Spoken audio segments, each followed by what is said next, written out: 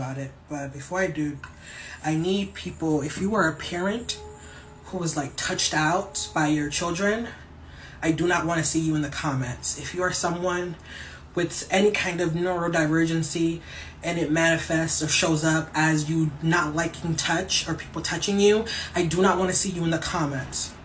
Okay? But I am, I, I feel like I'm dying from like touch starvation, y'all. I don't, I, this isn't, I don't, I don't get hugs. I don't know. I feel like if I were to get the kind of hug that I fucking really want, I would crumble into pieces. I,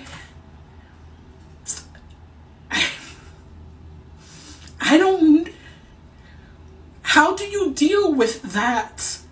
I really like like need to be touched. And I know someone's gonna say like, okay, go to the salon and get your hair done, or get a massage, or or get your nails done, right? So someone can hold your hand. None of those people love me. None of those people, none of those services love me. Right? But I am really, I'm really struggling. I'm really struggling with like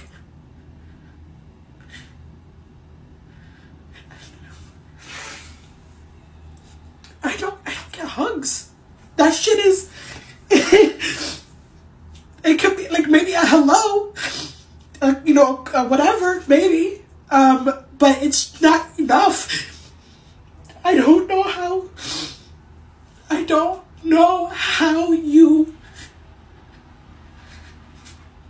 How am I gonna go the rest of my life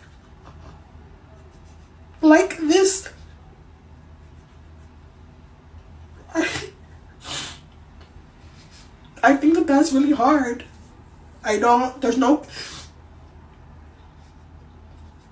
I really, I'm just really struggling. I'm really struggling.